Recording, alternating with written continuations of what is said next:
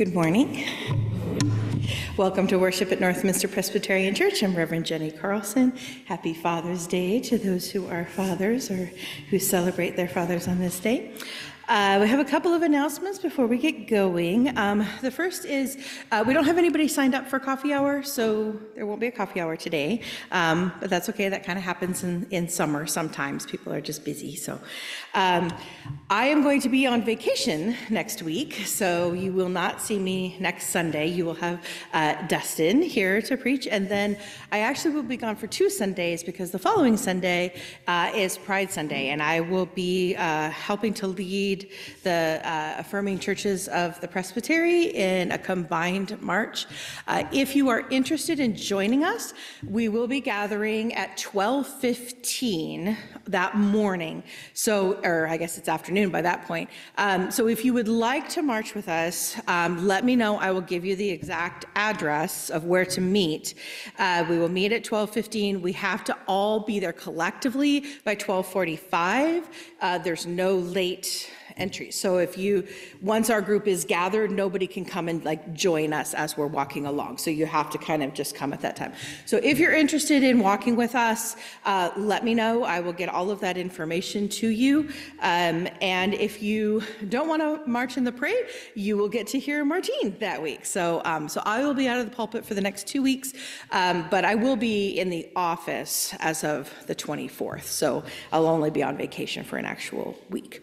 Um, but that said, we do have Bible study tomorrow. Uh, it's going to be led by Dustin, so you'll have an opportunity to kind of see what Bible study with him is like uh, as he prepares for uh, his sermon that week. Uh, and then we also have uh, this week uh, an event that Martine is going to tell you about.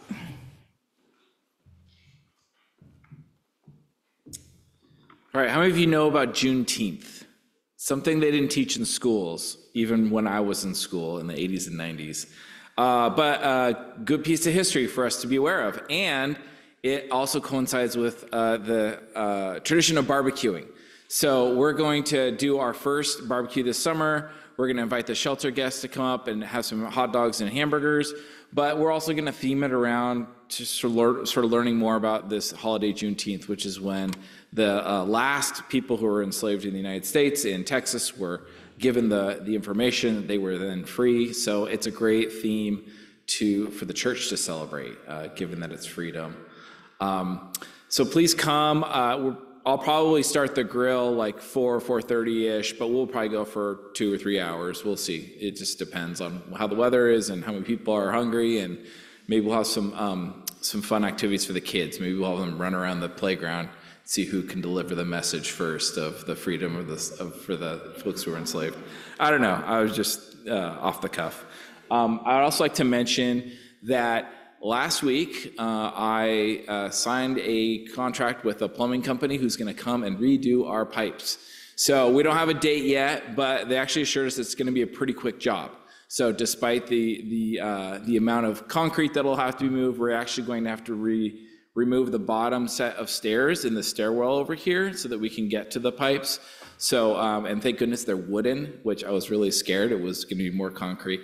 But um, yeah, so Best Plumbing is going to be doing our work for us. We're going to be letting other constituencies know that preschool will be out of uh, out of um, meeting. They won't be meeting anymore because it'll be summer break. But um, there'll be other you know, maybe parties that are affected like AA and stuff. So we're to let them know, but I just want to let you all know today, and we'll probably announce it next week so that you all aren't surprised if you show up and things are a little messier than usual. There will be a large pit in the front, um, and we are really not sure about whether or not that tree is going to be an issue, the one right outside of our narthex, which Carol just pointed out there's a little bird's nest in there. So we're just like, oh no. So uh, yeah, you can literally open the, the stained glass windows up in the narthex and, or in the balcony and hear the little birds chirping. So I'm like, okay, hopefully we don't have to remove that tree. But um, anyways, praise the Lord for uh, for that. Thank you. Are there any other announcements? Okay. Uh, and just to expand on that, once we know the actual dates, um, if there's any reason why we need to uh, move our worship, um, we would probably uh, ask uh, Woodland Park if we can worship in their space on a Sunday. Uh, We don't yet have those details just because we're not yet on the plumber's calendar. Uh, And the main reason would just be without water, we'd have no bathroom services and stuff, and I would hate to make you all show up and then have to hold it the whole time you're in worship. That just doesn't sound fun. So, so once we know for sure what the actual dates are and have it all, we will definitely be blasting that very, very clearly for everyone so that you'll know uh, when things are shut down and when they're not. So hopefully it'll all go fast and smooth. All right. Let's go ahead and take in a deep breath and settle our hearts and our minds, remembering that we have been loved since before the foundation of the world.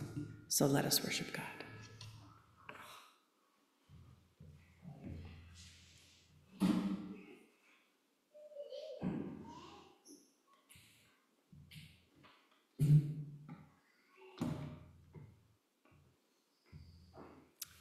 Good morning. Good morning. Please stand if you are able to the call for worship. In your wisdom, O God, you call us here to worship you. We gather alive to the word of God. You call us to be fully alive with your abundant life, ready to listen and respond with heart, soul, strength, and mind. We listen alive to the word of God. You call us to be always watchful for your word of wisdom, sometimes startling, sometimes unexpected, sometimes still and quiet, but always dwelling among us. We watch and wait for the word of God.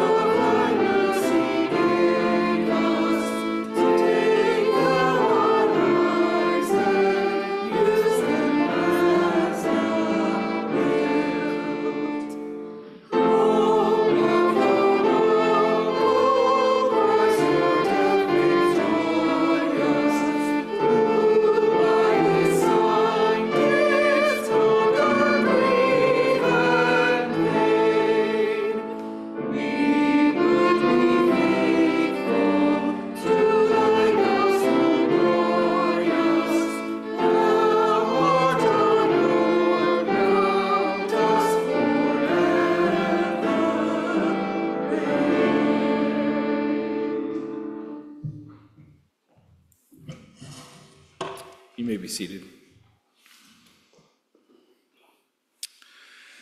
Now it's time for us to read together the prayer of confession.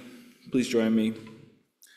Holy God, we groan at our weaknesses and we ask forgiveness. Your word is so clear and your grace is so good.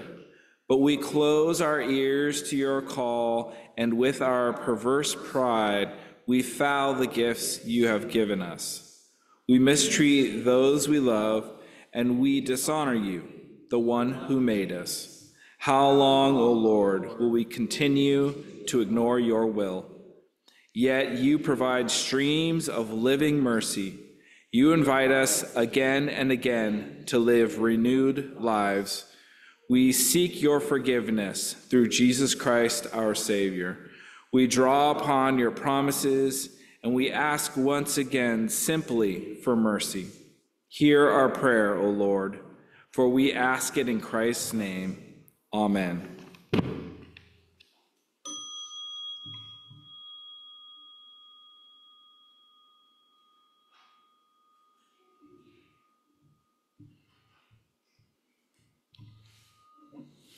Creator God, no matter our family of origin, we are reminded today that we all have been adopted into your family. People of God, rest assured in the promises God has made to us to never leave us, forsake us, to be with us, save us, and be the source of our peace. Amen.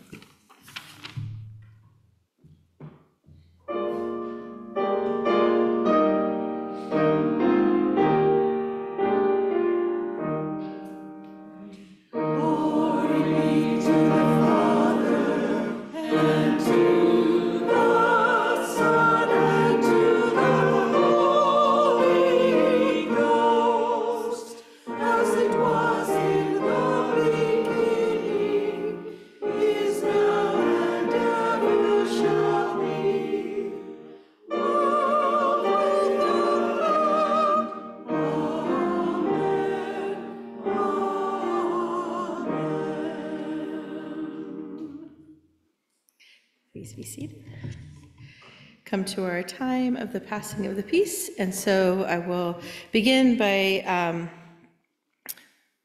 oh, I don't.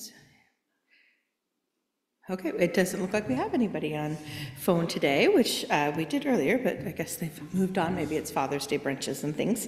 Um, So uh, may the peace of our Lord Jesus Christ be with you all. Please turn to one another and exchange a sign of peace. And those of you who are joining on Zoom, go ahead and type your blessings of peace into the chat.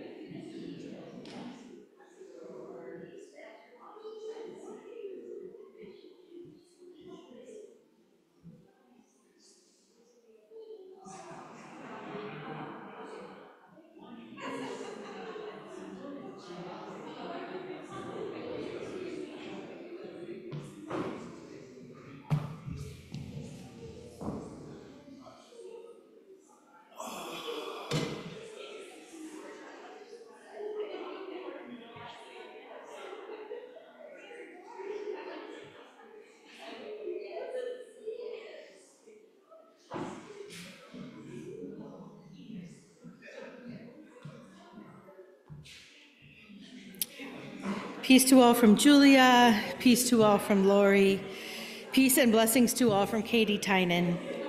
God's peace and blessings to everyone from Charlotte. Love and peace to all from Winona.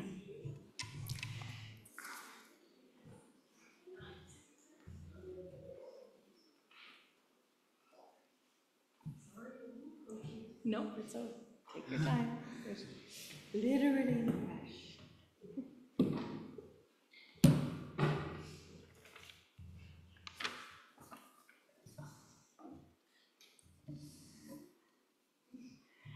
Let us pray. O God, our guide, set your path clearly before us and lead us to follow you willingly for the sake of Jesus Christ our Lord. Amen. The first lesson is the first book of John, chapter 1, verses 5 to 10. Am I echoing? I can't. Uh, sounds like I- Probably it's a little loud, so just step back from the microphone. This is the message we have heard from him and proclaim to you that God is light, and in him there is no darkness at all. If we say that we have fellowship with him while we are walking in darkness, we lie and do not do what is true. But if we walk in the light, as he himself is in the light, we have fellowship with one another, and the blood of Jesus, his Son, cleanses us from all sin.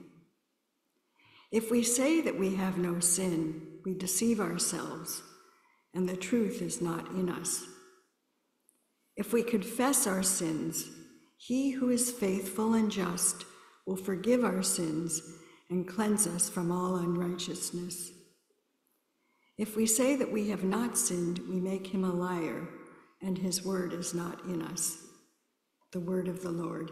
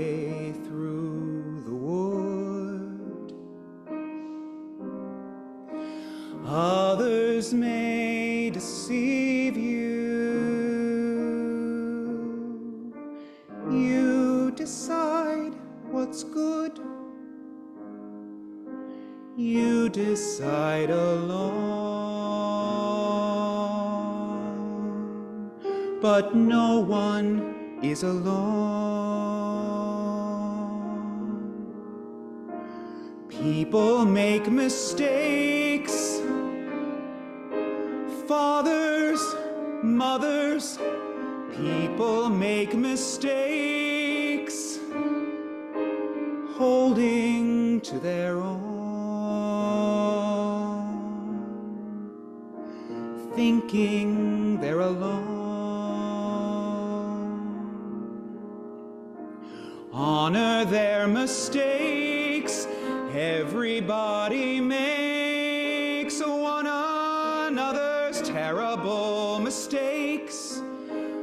Witches can be right. Giants can be good. You decide what's right. You decide what's good. Just remember, someone is on your side.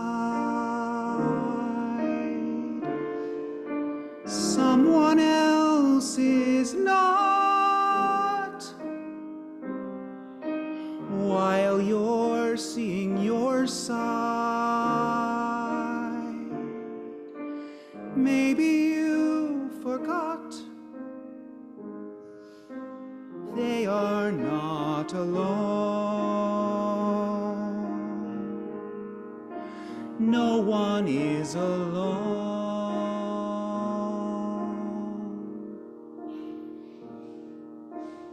Hard to see the light now.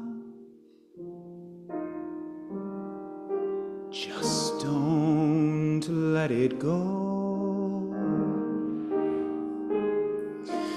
Things will turn out right now. We can make it so.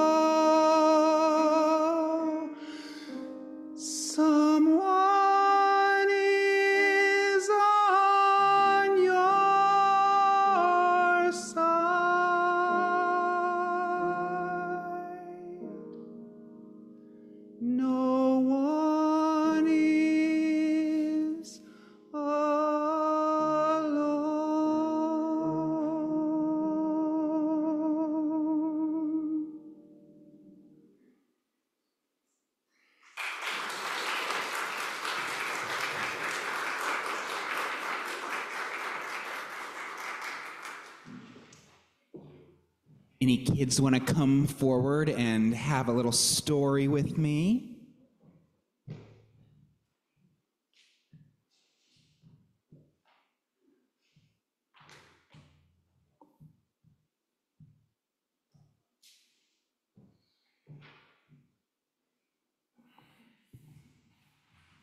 Petra, I wonder if you remember this story from the Bible. Think you do from the picture? We've talked about it a couple of times this year. Do you remember it? It's okay if you don't. You can say no. You don't remember it? Well, good news. I'm going to read it to you. Jesus spent many hours teaching people about God and how God loves us all. One day, when Jesus was tired and resting, some parents arrived with their children. The children were giggling and laughing and running around, making noise, while their parents asked the disciples if they could speak with Jesus. What do you want with Jesus? asked the disciples. We want him to bless our children, they said. Jesus is resting, the disciples said. You can't bother him now. Go away. But Jesus heard them. Do not chase away the children, he said.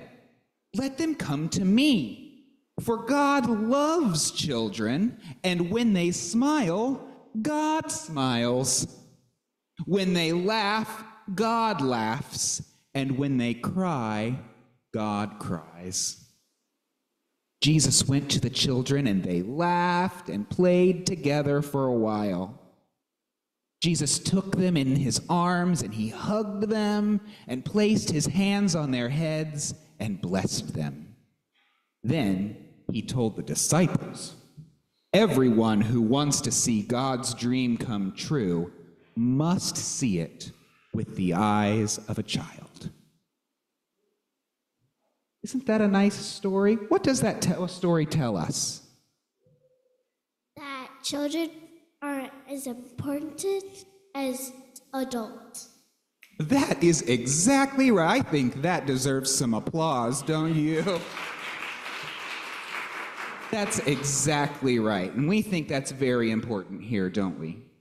Here at, at Northminster. Some churches, they don't think that's important, but we think that's very important here that children are as important as adults. And sometimes I think it's important for adults to remember to, like the story says, see through the eyes of kids and remember that Everything can be new and exciting sometimes. We get used to everything being the same, but sometimes we need to remember to look at things fresh and new. Would you like to tell, say a prayer with me?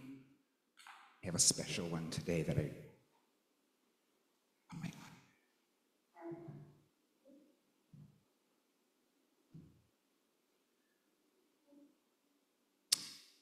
Let's pray. Grace and peace to you, our children. We will always give thanks for you. We pray for you constantly because we love you. We love you just as God loves you. We know, children of God, that God loves you so much. There are no words to express it. There are no wonders we can perform. But we know that the power of God is in you. We can see it upon our faces. You remind us of God's love. Teach us to see the world as you do. Surprise us with the wonders you see. Show us what gifts God has given you, and we will bless you and protect you, and we will always give thanks for you. We will bless you in the name of our God. We will bless you again and again.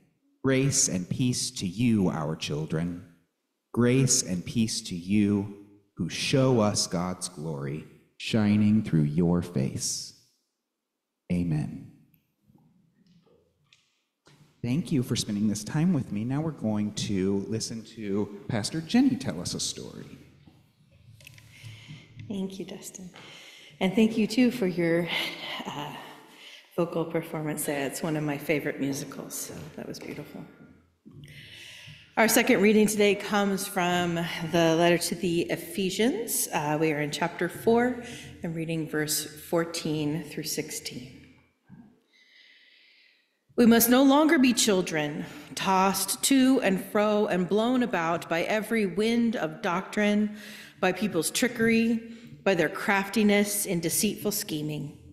But speaking the truth in love, we must grow up in every way into Him who is the head, into Christ, from whom the whole body, joined and knit together by every ligament with which it is equipped, as each part is working properly, promotes the body's growth in building itself up in love. The word of the Lord. Thanks be to God. Uh, and very quickly, before I read the next session, section of the uh, confession or the declaration of Barmen, um, I just wanted to draw attention on the bulletin covers uh, throughout this series. There are two uh, banners.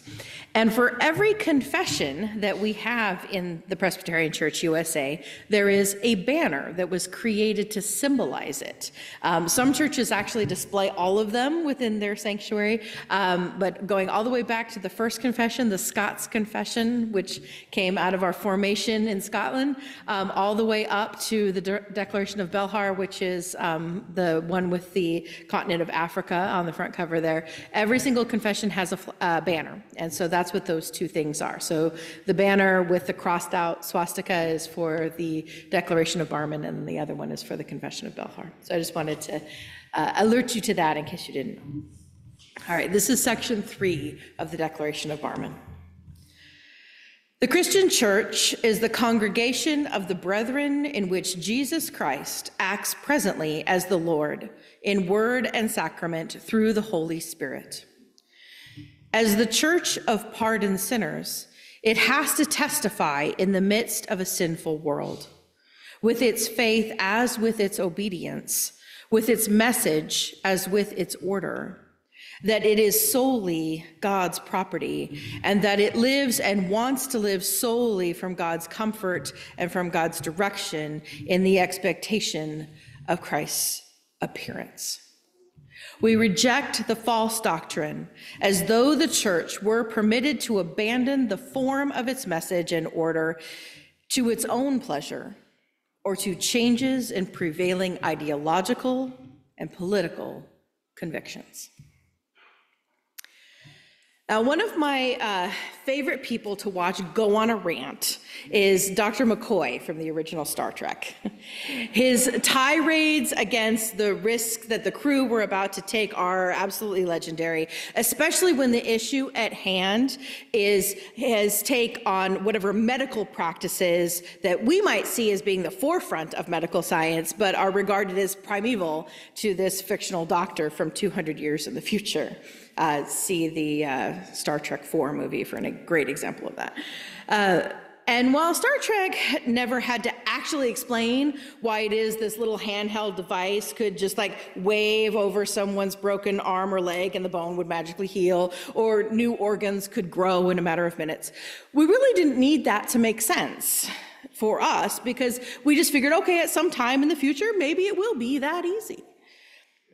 After all, when we look at even our most recent past, we can be a little horrified by what we used to believe was good for our health.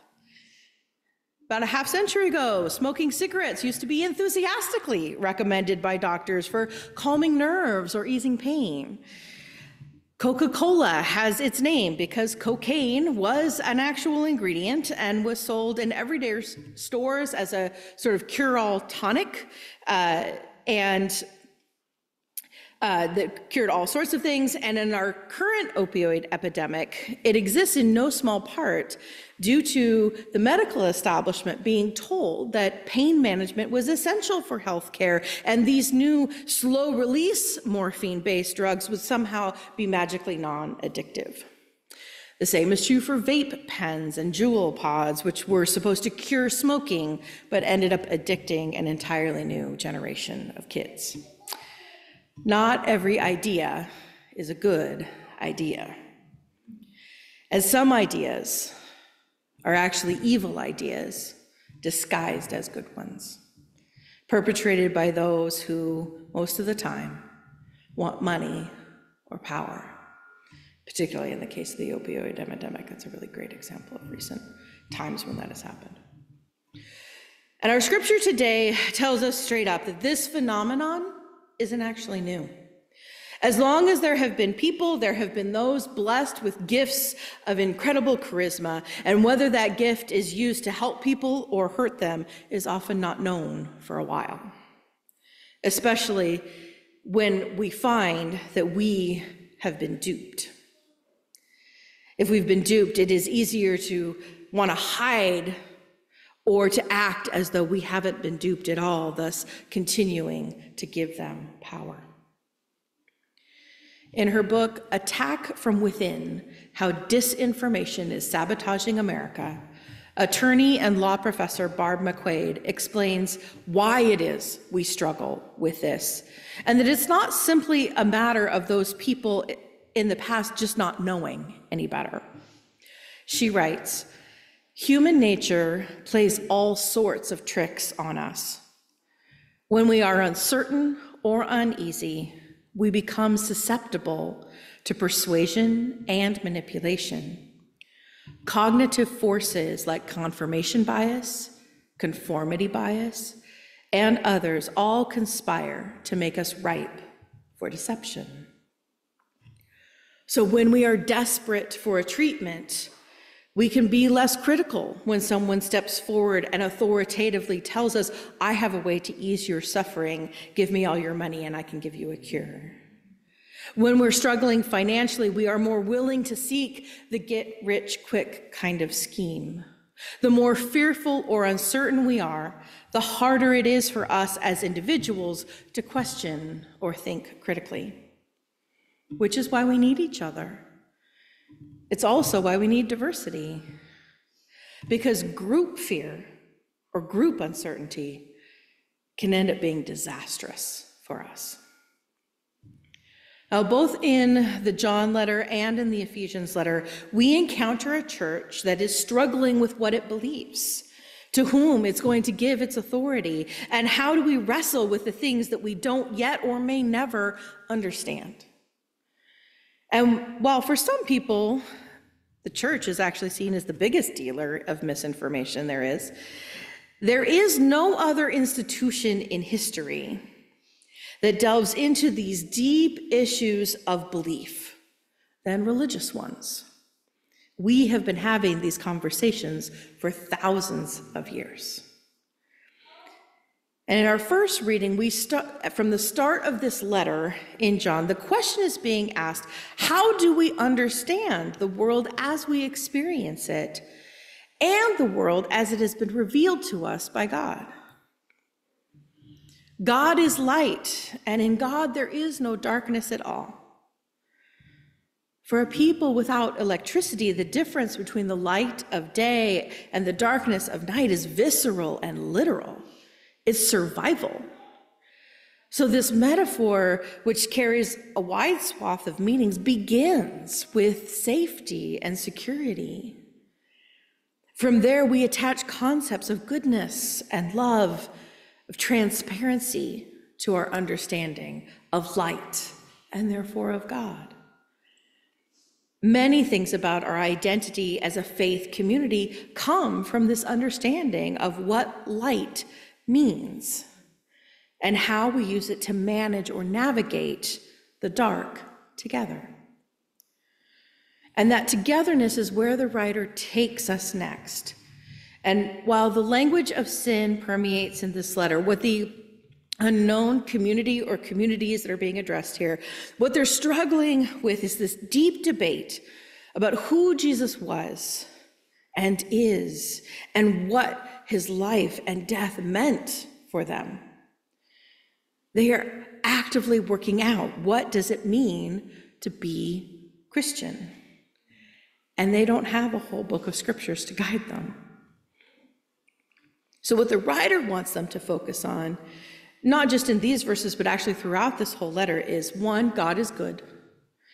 And two, pay attention to where these divisions are taking you.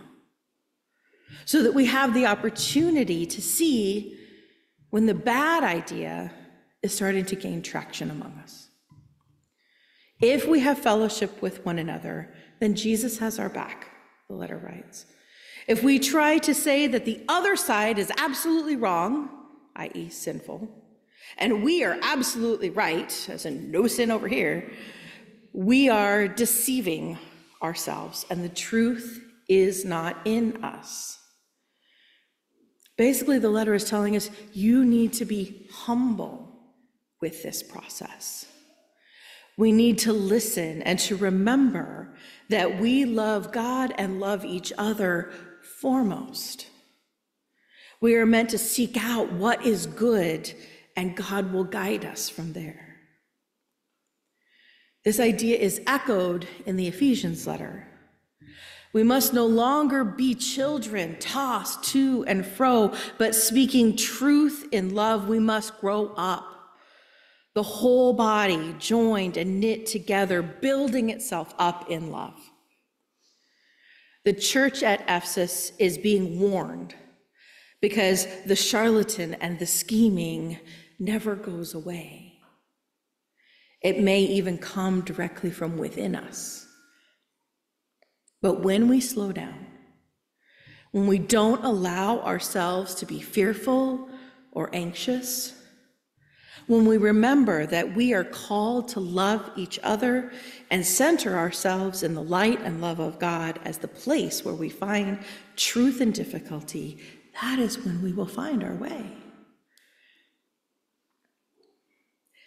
And that is the incredible wisdom that is displayed in this section of the commission at Barmen and is, so, is summed up so beautifully here.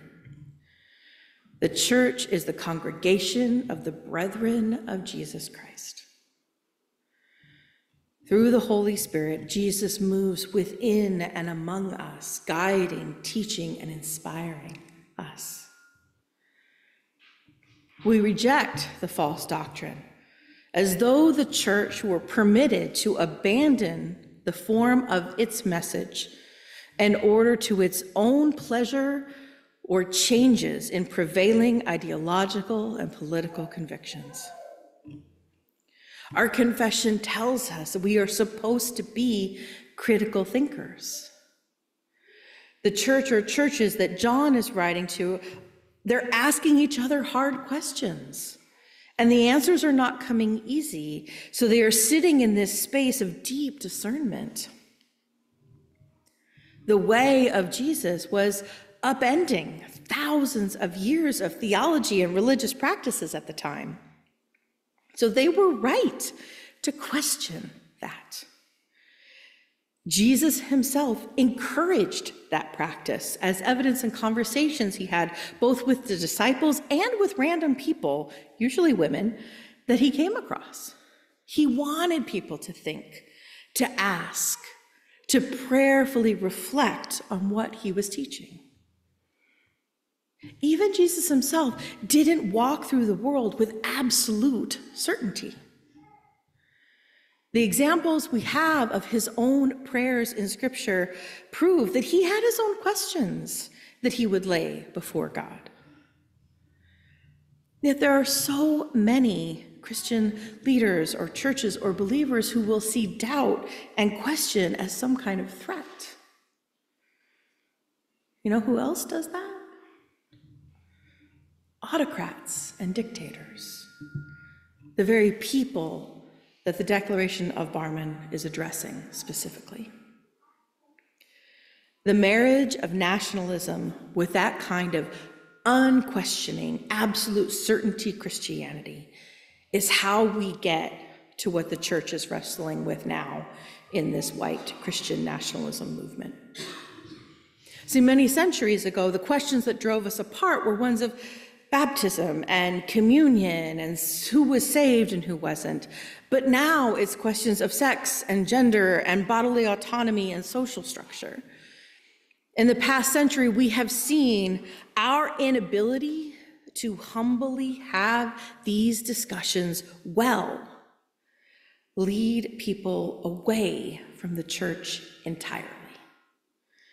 In fact, I believe that many in the church thought it was better to drive them away than to have to deal with our own misunderstandings, our own doubts, and our own misinformation.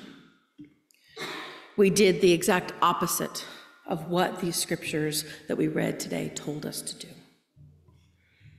As a Big C church, particularly the American church, we have been blown about by every wind of doctrine that can tell us who we can and cannot love, which gender can teach and preach, that God cares more about our sexual purity than our hearts and relationships, that only one class of people, straight, white, cisgendered American males, have been blessed by God to rule the church and therefore those outside it. We are walking in the darkness of that lie while claiming that we have no sin, deceiving ourselves. And so the truth is not in us. I'm saying this as the global church. Churches are shrinking everywhere, and rather than confess our sins, we are doing what verse 10 says. If we say that we have not sinned, we make God a liar, and God's word is not in us. And my friends, people have noticed. They have noticed and they have walked away because their own lived truths, the light of God, that God is good and loving, all of those truths that are inside them was pointing them away from the place that was harming them and limiting their relationship with God to this narrow view of what some say God thinks and wants and approves of and tolerates, as if God didn't already knowingly create each of us. And while this church specifically has had many of these difficult discussions, we are a part of this body, joined and knit together by every ligament. So we can't just sit back and say, well, that's not us. Because I promise you that there are churches in this city, even in this presbytery, and sometimes even within these walls that do think that way. Like any other sin, we hide them in the darkness, which for most of us means that we just don't talk about them. Maybe you believe that abortion is wrong, but in Seattle, you don't bring that up. Maybe you don't believe that three people could be in a committed relationship or that the Bible speaks against that. Maybe it offends you to see a man dressed in what you believe are the clothes that only a woman should wear. I use those examples because all of them have come up during my time in this community. And none of those situations are made better by not talking about them. But often we don't. Or we have very stilted conversations because we don't approach them from a place of, help me understand. Rather, we allow the fear to overtake us. We let our own offendedness lead us to confrontations or ultimatums instead of letting love lead us to curiosity, to sincere questions, to discernment and reflection. Friends, as Christians, we are called to move through the world like Christ, being the light and love of God to a world that is too often doused in darkness. That what the original commission Jesus gave to the 12 disciples, it is the same commission that continues to us. In an age when your friends may ask, Why do you even still go to church? Or how can you continue to identify with a religion that has done so much harm and appears to have a desire to take over the country? Then a life of genuine discipleship may feel for you impossible.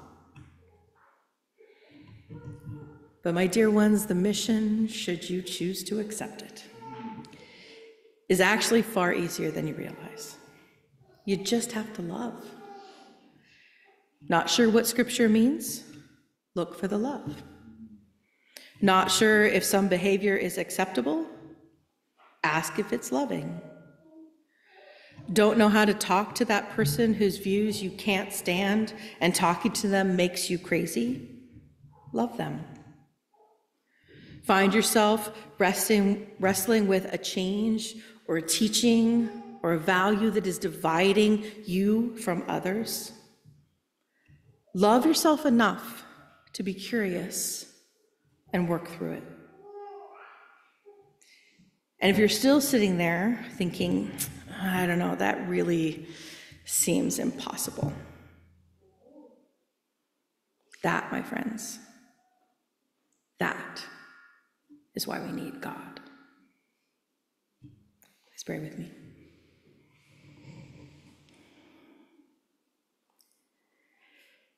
Gracious and loving God, as we wrestle with issues of conscience, issues of deeply held beliefs, perhaps that have been with us since childhood, perhaps we see things changing faster than we feel we can adapt to, or maybe they're not changing fast enough.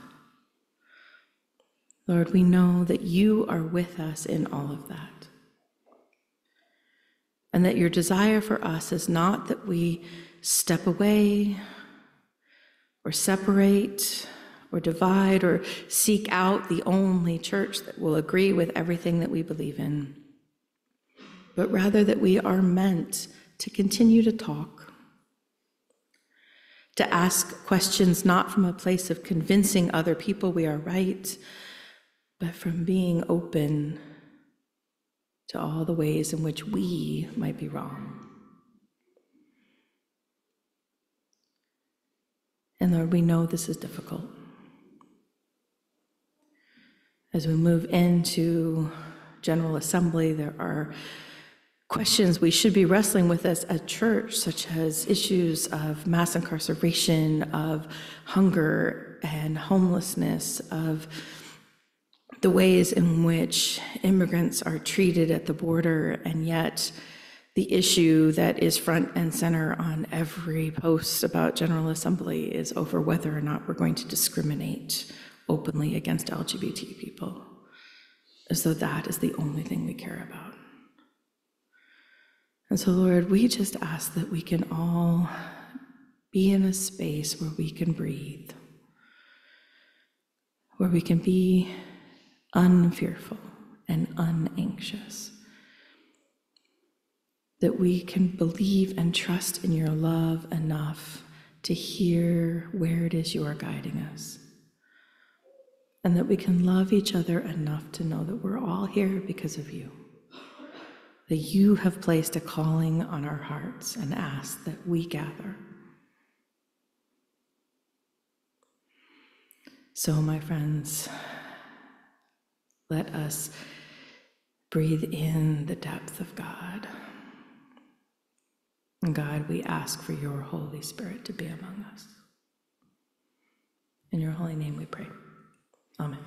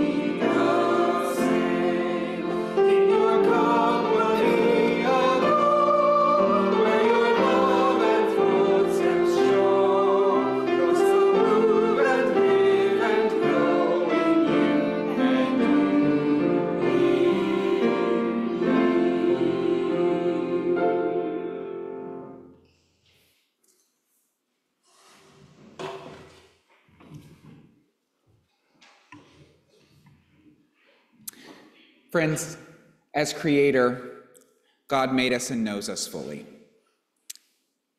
When we bring our full selves to God and admit our imperfections, we are show, letting God shine through us. We thank the God for all of our gifts, each and every one, for those that we recognize and those that we don't. And we pray that all of these gifts will be used for the building up of God's kingdom. May it be so.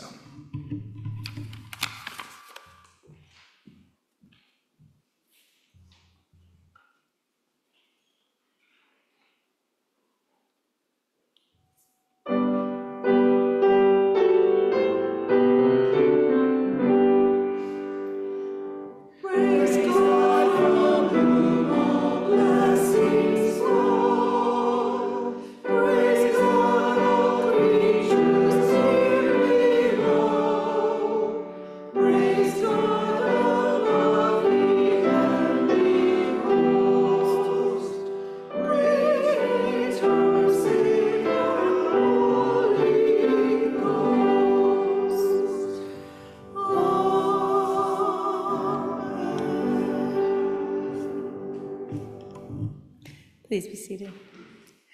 We come to our times of the prayer of the people, so I'll pray collectively for us, and then if you have prayer requests, go ahead and speak them aloud. And those of you who are joining us on Zoom this morning, you can type your prayer requests into the chat, and then we'll close together with the Lord's Prayer. Let's pray. Gracious and loving God, we come before you today with open hearts. We know that there is so much that is happening within our community and within our world. We see violence on TV every day. We see changes happening around us. We see the grief and the difficulty. And it is at times very difficult, Lord, for us to hold all of those things. Yet it is in this place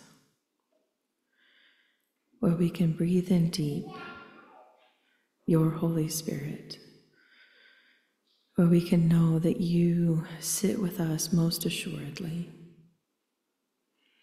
That in those moments of uncertainty and fear, in those moments of joy and pure amazement, that you sit with us, that you know what is in our hearts that you guide and inspire us. And Lord, we ask that in those even difficult moments, that you gently remind us that we are to love you and to love each other. And therefore, we are to see the light of you in everyone that we meet. Lord, we know that there are so many concerns that we carry each day. And so we lift those before you now, knowing that you hear all, whether spoken aloud or not.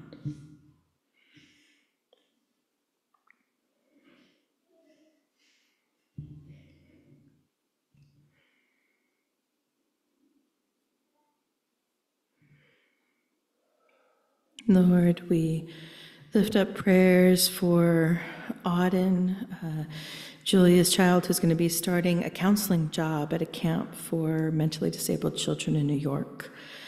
Lord, we just pray for safe travels for Auden, for them to be able to have all of the peace and love that they require to work with this um, particular population. And Lord, we thank you for inspiring them to this work. And we are grateful that they have stepped up and are seeing this as part of their life's direction as they are studying this in college, I know too. So, Lord, we just offer prayers of blessing and protection and guidance over Auden this summer. Lord, in your mercy, hear our prayer.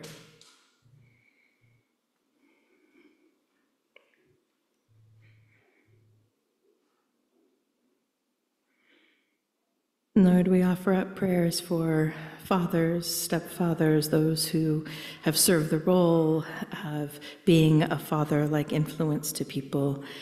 We know that with our parents, sometimes our memories are conflicted, sometimes our fathers died or went away when we were very young.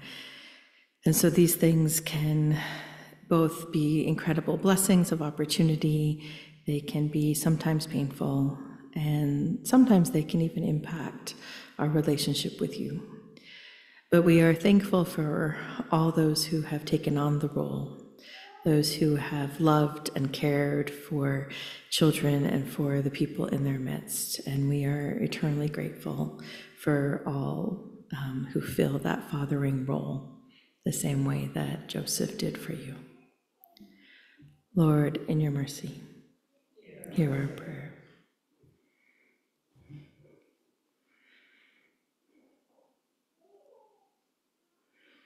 So, Lord, let us live together in one voice, saying the prayer that you taught us. Our Creator, who art in heaven, hallowed be thy name. Thy kingdom come, thy will be done, on earth as it is in heaven. Give us this day our daily bread, and forgive us our debts as we forgive our debtors. And lead us not into temptation, but deliver us from evil. For thine is the kingdom, and the power, and the glory forever. Amen. Please stand and we will sing together um, hymn number 722.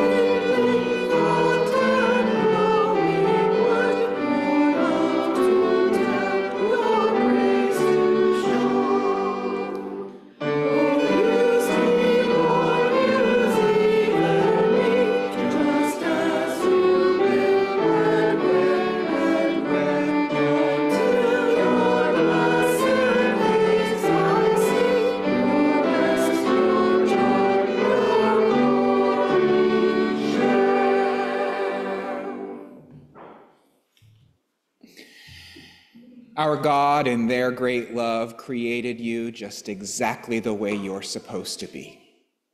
Jesus Christ, in his great love, emblazes your way. And the Spirit, in her great love, emboldens you to go forth in just peace to love and serve our God and one another. May it be so. Amen.